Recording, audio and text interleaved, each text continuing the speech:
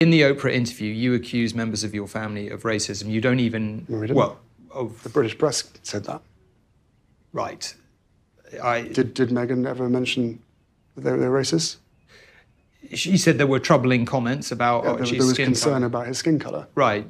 Wouldn't you describe that as essentially racist? I wouldn't, not having lived within that family.